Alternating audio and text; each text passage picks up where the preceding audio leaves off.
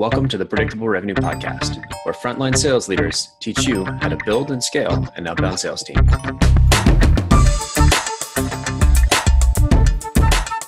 Welcome back to the Predictable Revenue Podcast. I'm your host, Collin Stewart. Today, I'm joined by Karan Singh. He's the he's a strategic advisor and co-founder at this firm that you you might have heard of, um, but you've probably heard of their pr- probably heard of his co-founder because he was on the show Lars Nilsson. He uh, he did a great episode with Aaron and myself, sort of talking about the future of sales, and that's how Karan and I got hooked up because I've been a big fan of you know SalesSource and what you guys do for quite a while. I remember seeing.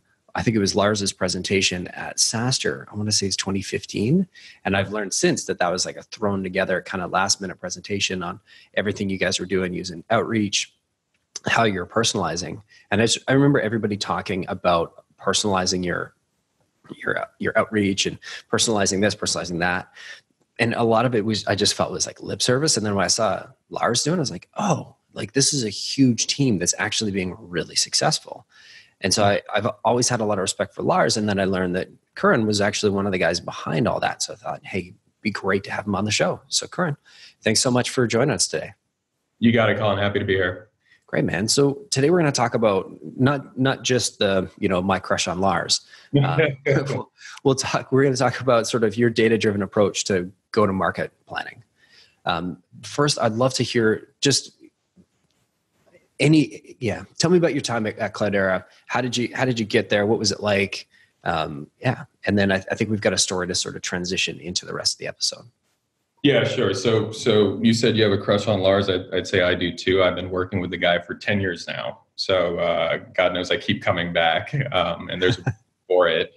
And it's funny. So, about five years ago, Lars and I were building out our consulting firm, SalesSource. That's actually when we we first co-founded it, and we were working with a variety of firms in the Valley it was interesting, exciting, finding a lot of different use cases. And then our uh, CEO from ArcSight, which was the first company he and I worked together at, Lars and I did, came back out of the blue and said, "Hey, I'm going to go run uh, uh, Cloudera. I'll be the CEO there, and I need my old lieutenants back." And so, you know, you don't say no to that. It was a great ride the first time, so we went and did it again, and uh, it was great because uh, when I was at ArcSight years and years back, uh, I was working with Lars. Lars was running the field operations function. And then when I joined Cloudera, I was fortunate Lars went more towards the inside sales route where you hear a lot about ABSD and all the great personalization and work we've done there.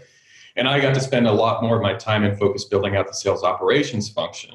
And as you know, that's I mean that's the backbone, Collin, right? That's how you go build out a strong, you know, outbound strategy. That's how you make sure you set up your systems and your organization, your sales organization to scale. So when we joined, when I joined, when we joined, it was a $35 million run rate company. By the time I left, uh, we took it all the way to a public event. And post public event, we were able to uh, make it a sustainable organization that's still doing great things today. So, got to see all the warts and whistles along the way as we, we grew the organization. And uh, hopefully, some of that I can translate to this conversation today. Yeah, man, that's got to be cool. How many what how many SDRs did you guys have at peak? Boy, at peak, and this was a worldwide SDR organization, I'd say we were well over 60 to 70. Um, but keep in mind, you know, one of the things we were really mindful of is that that sales revenue generating or activity generating individuals, they need a lot of support around them. They need the right, what I refer to as the right coverage model around them. So yes, we had 60 plus SDRs in place, we had ISRs in place, but we also had a strong enablement function supporting them. We had dedicated operations supporting them. We had the right rules of engagement. So the point being that, I mean, it was a massive sales organization, even from an inside sales and SDR perspective, and we did all the right things for it, I think. So, so maybe give, give us some, some perspective on the size of the total sales org then. 500 plus.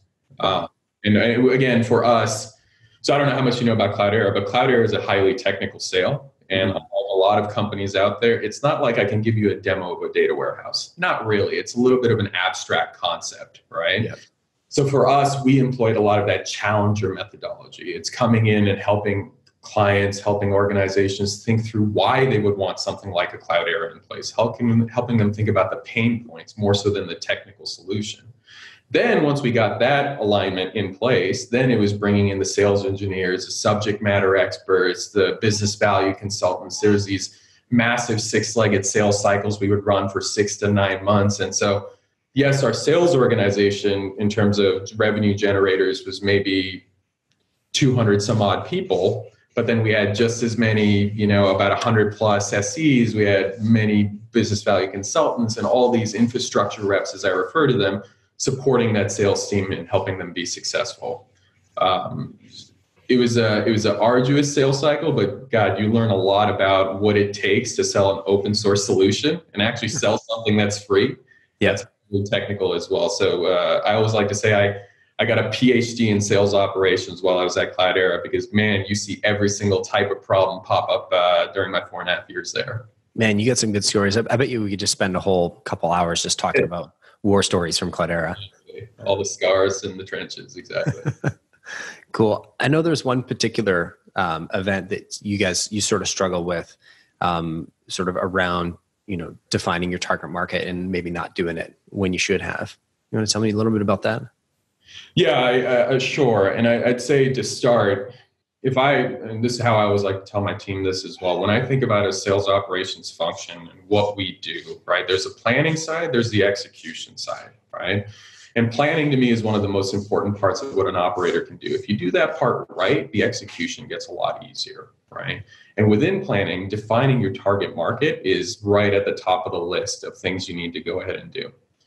The problem is most companies miss out on this in, in, in, two particular ways. Number one, they think it's a relatively complex exercise. It's one that you know uh, really can't figure out. Everyone's a snowflake. Um, uh, so let's not worry too much about it. Let's just go after the largest companies in the world. And I think that I can understand why that premise is in place, but there is a methodology, and we'll talk about some of that today as to how you can be very um, sort of systematic about defining your target market. And then the second thing is companies aren't really thoughtful about continuing to iterate on their target market right? It, it's almost perceived as a one-time activity that happens at the start of when you're building out your sales function for the first time and then you just sit on that for the foreseeable future. The reality is both things aren't true and it's something that i learned from being in the trenches and that's uh, one of the challenges and the pains that we felt as we, we grew cloudera. And, and the story is so when i first joined $35 million run rate um, so big, but not big, right? It was heading in the right direction. Um, and our presumption was, hey, what is our target market? Well, we don't have a lot of data to pr- prove or disprove anything. Let's just make it the global 2000, the biggest companies in the world, which I think was fair, right? It was a good starting point. But what happened was from that $35 million run rate, one year later, we'd gone from a sales team of 20 people to 100 people, and from 100 people the year after to 200 people when you're scaling that rapidly in terms of headcount, in terms of revenue targets, things like that, you want to be thoughtful about expanding your target market as needed.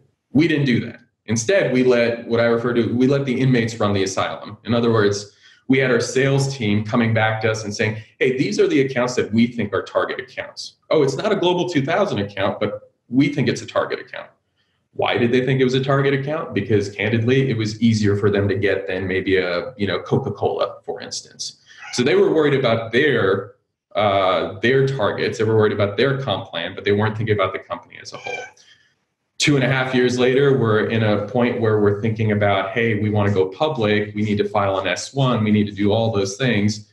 And as you can imagine, when you're going down that path, going down investor roadshows and whatnot, you have to explain what your target market is. You have to help people understand why you're viable for the long term. So then we started doing a deeper analysis. Hey, the target market that we put in place is that the right target market? Through some even cursory data analysis we realized collin that half the pipeline that we had generated in our business for the upcoming year was for the wrong set of accounts. And by wrong set of accounts i mean the accounts that would take $100000 of our effort and our spend and our sales rep time to generate maybe $50000 of lifetime spend. So net net a net negative for us and we had no idea because we just didn't put the thoughtfulness, we didn't iterate on the target market, we didn't do all those things early days. Once we realized how important it was, of course, we doubled down on it. We involved data science, we put in regression analysis, all this crazy stuff that helped us be very thoughtful about how we sort of rudder the ship for the sales organization. But that was a very painful learning pretty late into the cycle within Cloudera. And again, it's been tattooed on my heart and my brain, and it's something that I always espouse to all the companies that I consult with now because it certainly was uh, impactful for us. I can't. I can't imagine the the feeling of disappointment when you, your sales org realizes that you know you work you're working your ass off to hit these targets. You're driving. You're driving. You're driving, only to realize at the end of the year that you know the company spent a hundred grand to make fifty grand. Yeah, and uh, on the other side of it too, how do you change that at that point, right? So think about it this way, right? By the time we figured out this issue, our pipeline was in the tune of hundreds of millions of dollars of pipeline. So when I say 50% of pipeline, I'm saying hundreds of millions of dollars of pipeline that was in the wrong location. So how do you go to your sales organization and say, let's just go butcher that pipeline? That's not where we want you to focus, right? There's no there's no revolutionary way for you to um, to change that. It has to be evolutionary. So it took time and energy and patience for us to now re reorient ourselves as a sales organization. I would say defining that target market, right? That is the rudder of your ship. If your sales organization is a ship, the target market is the rudder. So if your ship is a Titanic, which is basically what we were at by the time we got to the size we did, right? Re sort of orienting us was a pretty arduous task. And it's something that, you know, I'm sure we're still going through at this point, but uh, uh, certainly impactful. Man, I, I can't imagine, you know, if I was a, a company doing, you know, $5 million, uh, you know, sitting there going, you know, maybe this doesn't apply to me. We're not, we're not you know at 35 million dollars trying to do 200 million dollars you know what do you what do you say to that sort of argument yeah i um i would say that the mistake that we made was that we thought the same thing when we started which is that we don't need to worry about the target market. It's not hyper relevant to us right now we're just going in for a land grab and we're just trying to make some basic uh, do- some dollars right now right? Um, and and by doing it that way i think we did ourselves a disservice because uh, we weren't thoughtful from day one. Had we been thoughtful from day one and it's not about just being able to put the line in the sand at $5 million and saying this is our target market. It's about putting in the cadence and the methodology to continue to iterate your target market from early days had we done that from the beginning, I think we would have been better off. And that would be my recommendation. If and by the way, Collin, I do this now, right? As a consultant, as a co-founder at SalesSource, I'm going into younger companies now and applying some of the same principle I've learned principles I've learned as I've grown sales organizations for these massive companies and applying it to these younger companies. And the message I give them is the same is think about where you want to be in two to five years back into that today in terms of the methodologies you'd want to apply then, the questions you'd want to answer then when you're a $100 million run rate company. Think about them now. Set up the infrastructure, set up the cadence, the thought process today to get there.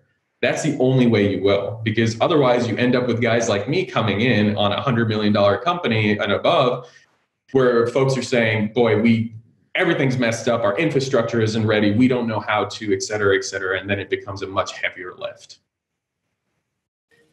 timing timing wise where do, where do you think this is best because if we're if i'm a small startup of just two people mm-hmm. you know we don't have or maybe we just have product market fit mm-hmm. you know this sounds like a, a huge burden maybe it's the right product exercise we should be doing if i if i'm a 10 million dollar company scaling up my sales team it feels like it's too late so where, where's the when is the right time yeah, I think uh, it, it really depends on the what as well as the when. So, in other words, when you're thinking about a target market and defining it, I think early stage companies go about that methodology differently, right? You have to do it in a very qualitative fashion versus mid stage and late stage companies might be doing it in more of a data driven, sort of retroactive fashion. So, in other words, looking back historically and saying, are we right with respect to our hypotheses?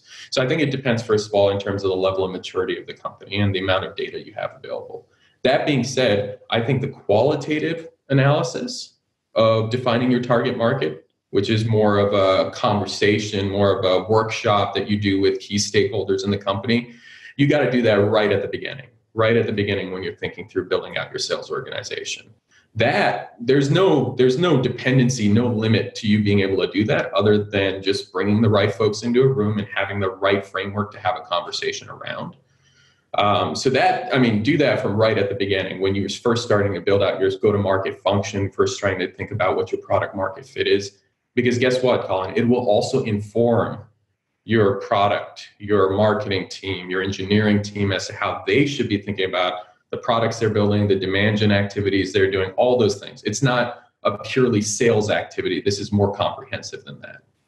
100% agree. I've, I've spent most of my life as as a sales rep or managing a sales team, and when I started the, this company seven years ago, I started learning about product because that was my biggest weakness, and I started to realize that the sales and pro- being a sales rep and a product manager are very very similar roles in terms of what you're doing, in terms of mm-hmm. or at least running a sales team, um, mm-hmm. and a lot of great you know product teams they have to start with these fundamentals, which is the market, the customer, the sort of pain that you're serving. Like obviously the the product idea came from somewhere, and hopefully it was validated.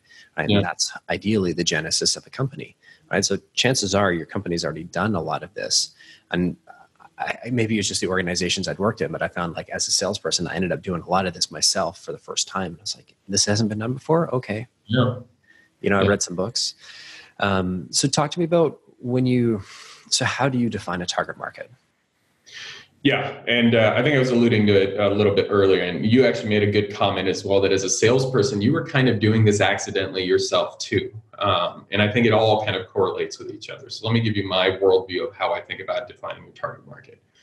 I think it's not this broad conversation about what does a target market look like like candidly we did early days which is oh biggest companies in the world that's a little bit of a crutch right that's the easy uh, approach and to be honest, when I was at ArcSight, we did the same thing, right? Early days, it was just the biggest companies in the world. That's easy for enterprise companies, but it's not comprehensive. So instead, what I like to do is I like to take my teams down the path of not necessarily defining a target market, Collin, but defining what's referred to as an ICP or an ideal customer profile. Let's go figure out the type of accounts, the type of customers you have today, or the type of customers you're looking for today that would be quote unquote ideal as well as the inverse, the ones that you would sit there and say, boy, we really don't want these individuals as our customers, right? If you can be really thoughtful about defining those two categories, then it becomes a lot easier to go down the path of building out a target market, right? Because there's a lot of technologies out there today what and what they do these are curated databases you see this with discover.org dnb EverString there, there's a few different ones out there which do what are called like accounts matching so, in other words, I can go to these companies and say, here's my list of ideal customers. Can you find me other ones that are like this? Which is, if you think about it, for a curated database, that's a relatively easy exercise. So, going from an ICP to a target market is actually relatively easy, and it's been something that's been automated. The piece that hasn't necessarily been automated today, Collin, is the first half, which is defining your ICP. And I think that's a hard thing to automate because it is more conversational in the beginning, anyhow. And so, my my approach is let's get the right stakeholders in a room. Let's have them think through what their ideal customer profile is through a framework that I've, I've, I've used in the past as well. I'll share in this uh, this podcast as well. And let's put that in place first and foremost and then let's go translate that over to a target market. Does that make sense? Hmm so talk to me about who's in who's in that room right? Because I, I think that's one thing that you know maybe we've experienced as salespeople is like we're, we tend not to be in the room. And I remember the conversation with Lars. You know, his, his one of the big takeaways was, you know, sales development deserves a seat at that table, and the, the table being the theoretical senior management table. Yeah, I uh, I think you hit it right on the head. The converse, so the piece that you want to avoid is living in an echo chamber right? So, how does that happen? That happens when you have, say, a bunch of operators sitting in a room defining a target market. I tell you what the target market is, you agree with me because you haven't seen anything aside from what I've seen, and therefore, we're in that echo chamber and we walk out thinking we figured it out, and turns out it's not relevant to anyone else. So, you have to be really mindful of that.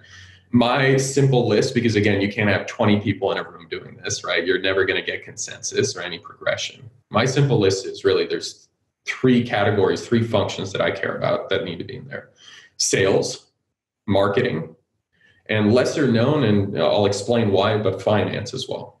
Okay. From a sales perspective, because there's subgroups underneath this, from a sales perspective, you definitely want your sales operations leader in there, right? Because that's the person that's kind of that's usually me and i'm the one who's kind of program managing that and kind of putting all the pieces together right self-serving here Karan yeah, what do you say? exactly. Uh, I had to throw that in. So it's usually a sales operator, right? You want your sales leader in there because they've got good pulse of the business and they have an understanding in both both worlds, both execution, but also thinking through comprehensively what the company's requirements and goals are. But I am, I'm a big believer in having individual, at least one individual contributor from a sales perspective in that room. Somebody who's been in the trenches, somebody who's living in on a day-to-day basis in the sales process, speaking with customers, seeing the good, bad, and the ugly. Somebody who can give that sort of anecdotal evidence to us. Hugely important to have that person in there as well. Because so, I think everything else is just theory, right? Unless you have somebody who's actually, you know, taken the the talk tracks or your scripts or your templates and and throwing them in front of customers how do you know right yeah absolutely and i mean if you think about it that's the person that especially in the beginning when you don't have a lot of data to back up your findings is the one that's going to be the the driving factor in helping you define your icp now our job is to pressure test right if you tell me that you're the individual contributor and you tell me that i believe finserv is financial services are key uh, for us in our ideal customer profile I'm going to do everything in my power to prove you wrong. But that's because again, that's that that that that positive sort of dissonance that happens between us to get to that ideal state. So again, from a sales perspective, hugely important to have that individual contributor as well. From a marketing standpoint, having both product marketing but also demand gen in this conversation hugely valuable. Product marketing, obviously, because this individual is really helping guide the overall content strategy of the organization and how we're going to market from a marketing perspective. But demand gen, those are the individuals, it's like sales operations, right? They're at the tip of the spear from a marketing perspective. They're helping bring the inbound lead flow in to, uh, to, to support the sales team. We want to make sure that we're mindful of their expectations, their understanding of the target market as well. And oh, by the way, once we define that target market, they're going to need to be just as involved on, on the front end at the top of the funnel in helping us get the right set of leads in. So hugely important to have both of those individuals in. And then finally, and I get a little bit of back and forth on this when I when I suggest finance, but I think finance is huge in this conversation. Not because they're going to be the ones that sit here and tell you that uh, you know these are the companies that you think you should we should sell to because I believe it's industry X or Y or Z. They're not going to be that individual, but what they will do is they'll help you understand the corporate objectives. So for us at Cloudera, our finance team came back and said, look, here are the things we care about current. We care about net expansion rate, so how fast our customers grow their revenue year over year. We care about renewal churn, so uh, making sure we don't lose not just customers, but dollars for existing customers. And then we care about new logo land grab in the following different categories, for instance. Why do they care about those things? Because they have expectations to report to the board, they have expectations to report externally, all those things. So we want to be very mindful of what what I refer to as what measures they care about, because that's also going to help drive our ICP analysis. So as long as you have those individuals in a in a in a group setting, and that's maybe five to seven individuals, something along those lines, I think you can get a very healthy conversation going in defining that ICP. So that's the who, Collin. The other half of the equation is the how, right? What are the questions you ask? What is the framework, right? And that's where operators like myself are really leading the conversation in this analysis.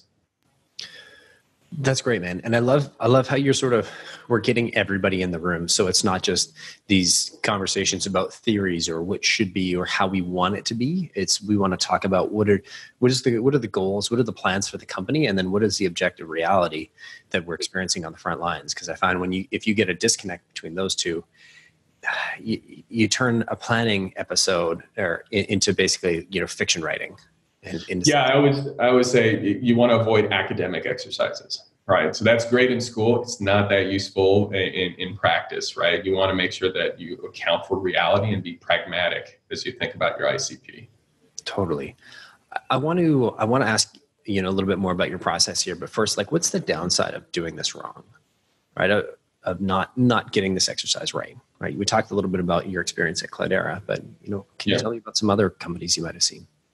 Yeah, and again, I've, I've had the chance to do this for multiple companies uh, since Cloudera from a consulting capacity, and it's it's consistent. There's pattern recognition there as to what the output is. So, so as I mentioned in the beginning, this is the rudder of your ship. If you're a sales organization, is a ship. So if you get this wrong, in the beginning, you're you're fortunate, right? You have the ability to adjust, tune, and refine pretty quickly.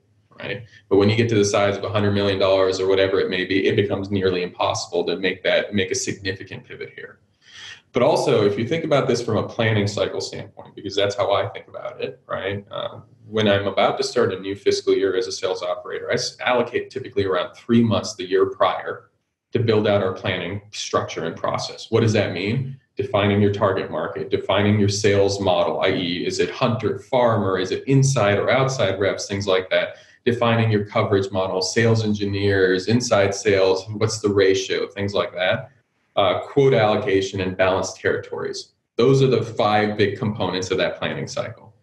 If you think about it, four out of those five are in fact dependent on your target market.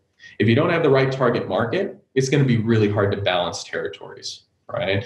If you don't have the right target market, it's going to be really hard to hit the right quota attainment for your sales team. It's going to be really hard to decide the right sales model, things like that, right? If you think your target market is the biggest companies in the world, you're likely not using an inside sales model. If you think it's transactional and it's smaller companies, SMB space, maybe you do use an inside sales transactional volume centric model. Point is, it's almost like it's the dependency for all the other actions that you typically do in that planning cycle. So getting this first part right, um, I mean, it's maybe it's a little bit extreme for me to say it's almost an existentialist activity. In other words if you do not get this right it can be make or break for your company long term right? To the of millions of dollars.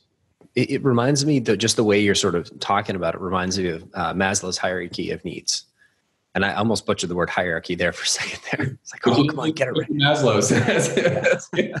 but it's it's a pyramid, right? It's yeah. you know, and it sounds like the having a strong definition of what is that target market it is sort of the foundation. Because um, if you're building it on the wrong foundation, it doesn't matter how great you are at all of these things. If you've got you know 100 100 reps and they all have the wrong territories or territories where they're never going to be able to hit quota, yeah raise your hand if you've had a friend if you've been that person you know mm-hmm. in an organization or you've got a friend that's like currently like yeah man i'm i'm the number one rep but the number you know the last rep you know it puts in the exact same amount of work as i do but they just have a crap of territory. Yeah and you know what that ends up being? And just talking from an analytical standpoint i use this notion as well. So i'm always looking at attainment information for my sales teams. And if you do this wrong you get a frequently you get this notion of a bimodal attainment curve. And by that i mean it's feast or famine. You'll have a few salespeople that got the best accounts. They tripped and fell into them, or maybe they were early days. Who knows, right? They got the great accounts and they're 150, 200% of number. The rest of your folks are 30% or less because they didn't, right? It's that balancing of territories never really happened because, again, you just didn't have enough. Uh, enough to work with in terms of your target market. So absolutely in practice you do see that and it is nothing is more painful than realizing you're in that feast and famine mode because think about it. The folks that are feasting are going to stick around they'll be happy that's great. The ones that are in the famine world they're going to attrit they're going to go to other companies. They're going to talk about the prior company they were at and where they weren't able to make any money. And so when you try to hire new salespeople it just they talk to each other. I mean the sort of uh, the the impact that happens from something as simple as defining your target market it's it's almost shocking how how uh, significant it can be.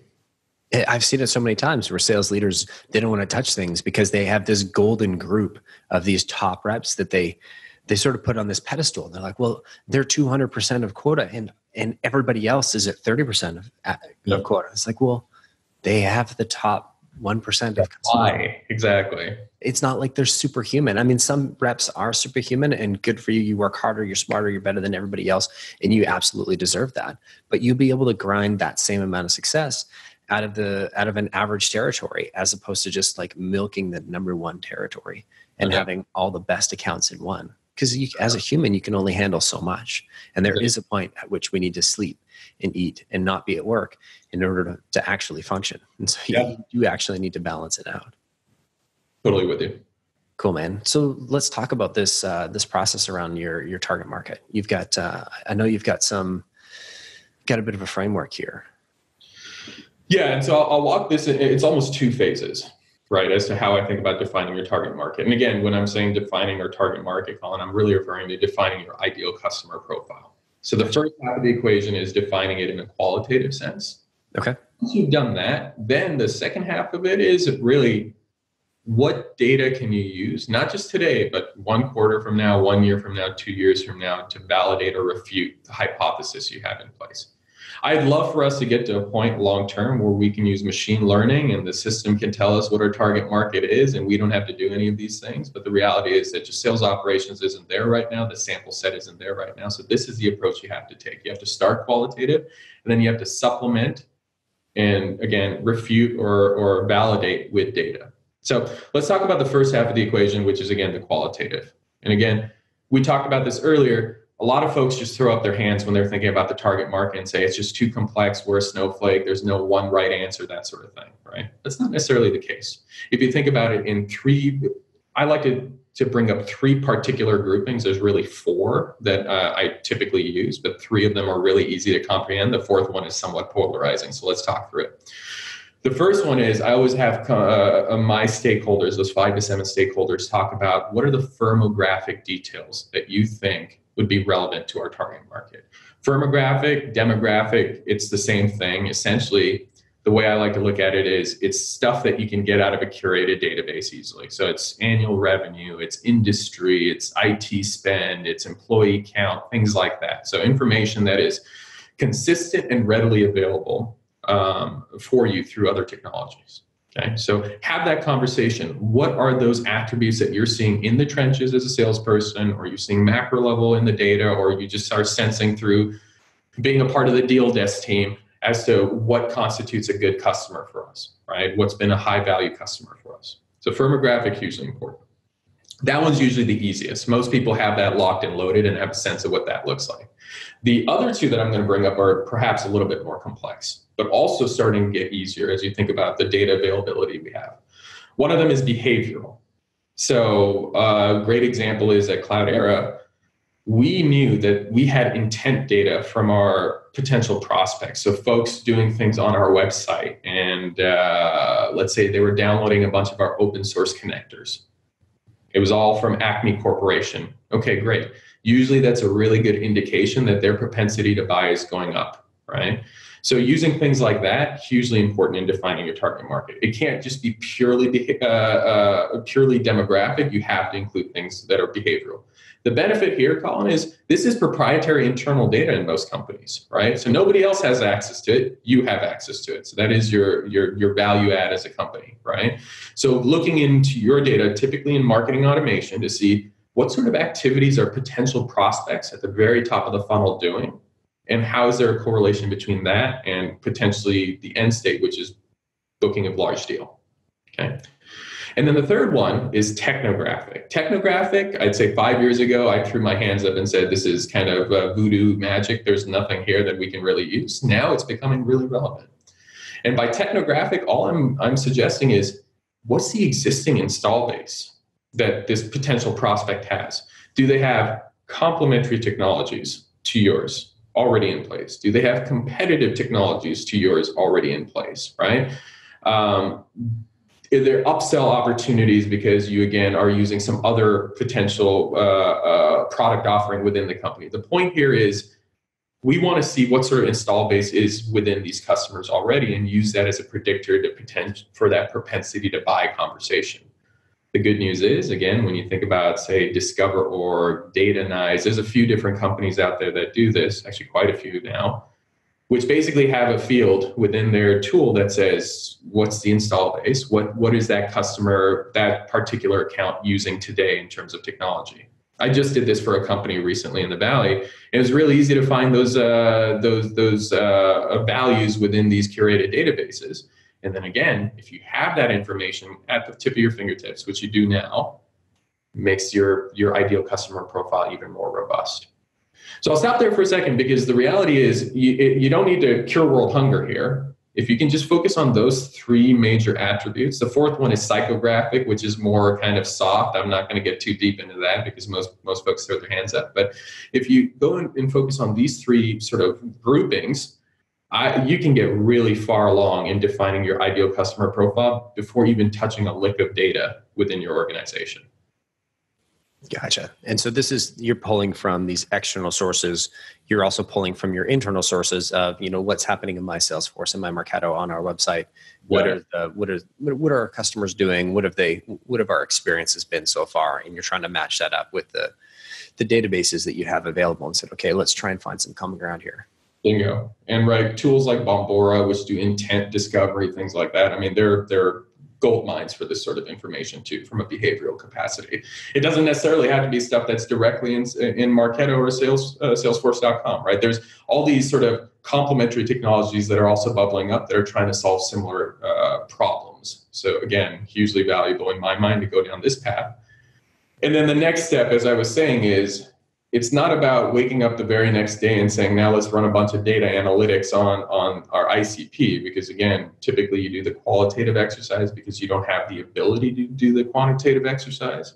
The next step here is let's go build that infrastructure in place. If i am again a five to seven person company build the systems infrastructure in place so that one two three quarters from now when you've actually gotten some bookings in place based on your target market can we go back and reanalyze our target market can we make sure in, that our hypotheses that we had in the beginning through this exercise, if they are still valid?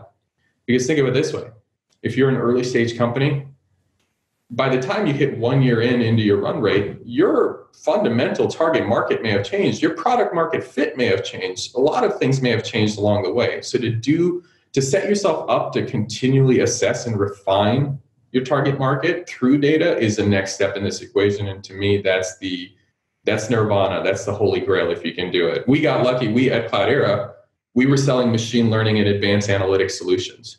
So we were able to eat our own dog food and do some really cool things around this part of the exercise. But it's not something exclusive to Cloudera. This is something companies can do even if you just have data within Salesforce and Marketo, for instance, or Salesforce and Eloqua. Uh, there's a lot you can do right then and there. And the smaller you are, the the more I think the less academic you need to be about it, right? You're not going to, as a two person sales team, you're not going to go sprinkle some machine learning sauce on it and expect it to, you know, turn out miracles. You, probably just need to sit down and have a conversation with the two people that are closing for you. You got it. You got it. It's as simple as that. And, and think of this way your CRM also has some very basic data points that you can get from day one that are very insightful right? So, so, so the way that I like to put it is what we just talked about so far, whether it's firmographic, behavioral, technographic, what we're talking about, if you just think from a BI standpoint, business intelligence standpoint, those are dimensions, right? Those are attributes. On the other half of the equation is you have measures, right? So what are the, the KPIs that you're going to measure against uh, those attributes against, right? Uh, so for early stage companies, it may just be as simple as close rates, and you, uh, you know ACV and uh, uh, ASP, so average sales price. It may just be those three measures. And let's just go see which of our attributes that we define have are stack ranked at the top on those three measures.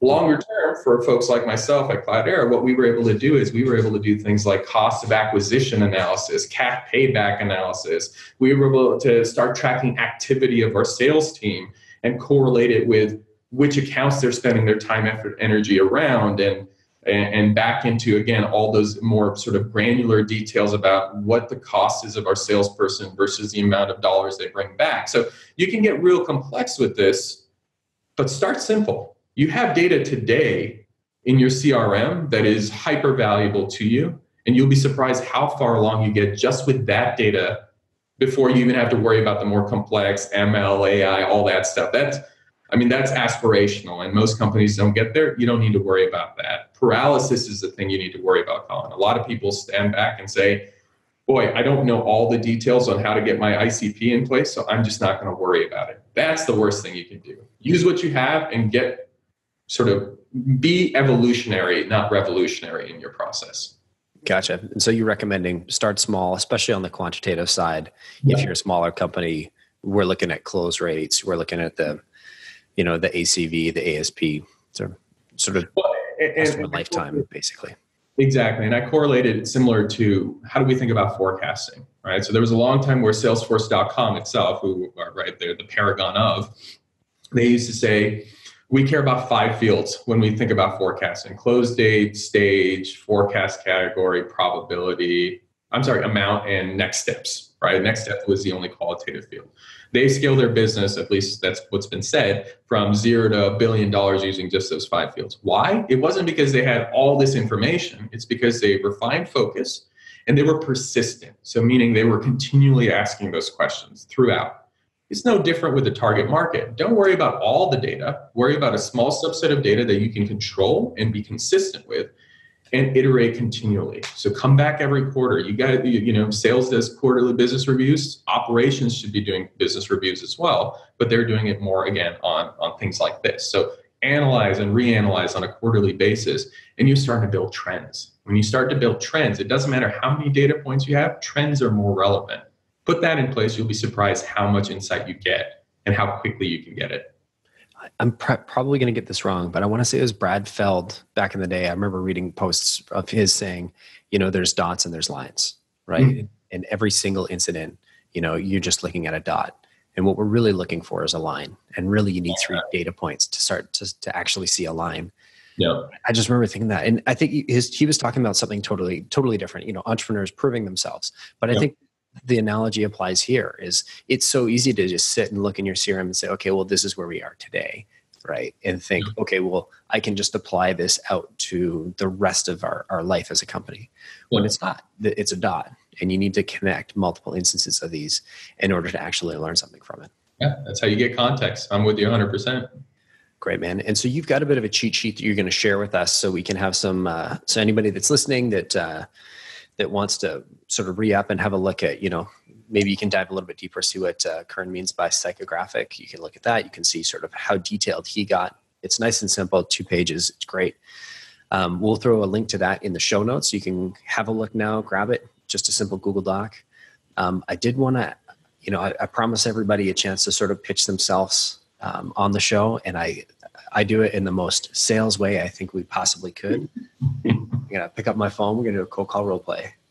I like it. And I'll, I'll, preface this with I'm an operator, not a salesperson. So I'm going to give you my best college try here. But let me just take note of all these all these excuses and reasons why. Yeah, exactly. Hey, we haven't started the cold call yet. So yeah. so who what's what's your target market? Who who am I going to be in this? Uh, set the stage for me a little bit. Who are you calling? Yeah, so our target market is primarily enterprise B2B organizations. So okay. in the Valley, we certainly we specialize in the technology uh, vertical. Um, so, so, likely to be an individual in that range. Um, in terms of size, I mean, we've gone anywhere from Series A, uh, early stage companies, all the way to Series C, D, and beyond. So size isn't important because again, we've seen the whole life cycle. Gotcha. But uh, uh, really, our focus is B2B technology companies. Okay. And then who do you tend to be selling to? Who am I going to be today? So uh, we tend to sell to the CRO within okay. uh, a given organization. Occasionally, it's sales operations. But let's uh, let's make this difficult for me. Let's make you the CRO. Great. All right, you ready? I'm, I'm ready, brother. Nervous? All good. I'm going to send this to Lars afterwards. Be like, hey man, can you score this uh, call for me? I feel like I'm in new hire training. Perfect. Ring, ring. Hey, this is Collin. Hey, Collin, this is Karan saying, do you have uh, 10 minutes to chat? Uh, I'm the CRO of this very large, very busy company. I don't have 10 minutes. Call again tomorrow. so that was a bad start, right? uh, so, right. Collin, uh, appreciate you getting on the phone with me. I, I, wanted to just take a few minutes and give you a little bit of an overview of, of my consulting firm, which I think could be really valuable to you and your company as you think about scaling out your sales organization and uh, your sales operations function. Do you have a do you have one minute for me? I can give you one minute, but I don't think I really need that. I'm the CRO here. Why would I need your help? Well, so the reality is that, again, as a CRO, you probably understand this better than most. Um, you have massive targets ahead of you. You have great growth that you need to achieve, and you have a board that you need to appease, right? And one half of the equation certainly is for you to hire more salespeople and and and try to grow your revenue that way. But the reality is, you want to build a sustainable business. Collin. And so to do that, you need to have the right infrastructure in place. You need to have the right methodology, the right process, and just as importantly, the right scalable technologies so that your salespeople spend as little time as possible doing the menial work and spend more time selling and selling efficiently so that they are, in fact, giving you the most bang for their buck. And uh, that's something we can help with. So, our, our company, Collin, is we, we specialize in both inside sales and revenue operations. We've been doing this for large hyper growth companies for many years in our past lives, uh, all the way from early stage to IPO and beyond. So we've we've seen what that growth pattern looks like. We know when you need to install what aspects of sales operations, inside sales, and how you need to go do it. And if you do this right, it can help you be sustainable, help you scale, and uh, that's what we want to help you do. And so, love to spend a little bit more time talking with you about what that looks like because I think it can be of great value to you. That's work, man. It sounds good. Give you a bit more leeway on the call than I normally would, but uh, I think that was good, man. Uh, you know what? I'll take it. I'll take it. cool. Hey, I really want to thank you for coming on the show. This was this was so much fun. If people want to get in touch with you, if they got questions about the show, if they're like, "Hey, I, I want to hire this guy or hire his company," how can they get? How can they reach you?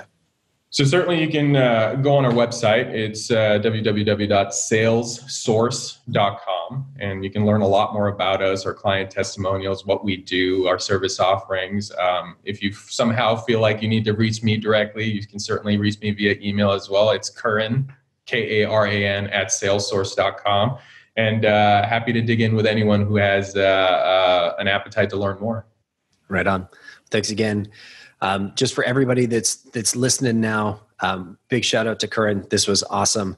I wonder if you could do us a favor. We've got we've got a bit of a competition going on, a bit of a challenge this this month. What we're looking for is give us a, a thumbs up or subscribe on YouTube. Give us a five star rating on iTunes, and we're gonna we're entering everybody that does that into a draw. We're gonna send away uh, send off ten signed copies of Impossible to Inevitable. Um, Aaron's got a new version coming up in May, but we're sending out the uh, the old ones while you can get them, and then we're going to also continue that later. So if you shoot a, a screenshot to uh, podcast at predictable revenue of anything that you've done, whether it's a tweet, subscribe, uh, or a rating on iTunes, great or terrible, whatever you feel like we deserve, shoot us a picture of that and uh, enter yourself into that draw. All right. Karan, thanks again for coming on the show, man. This is great. You got it, Collin. See you, bud.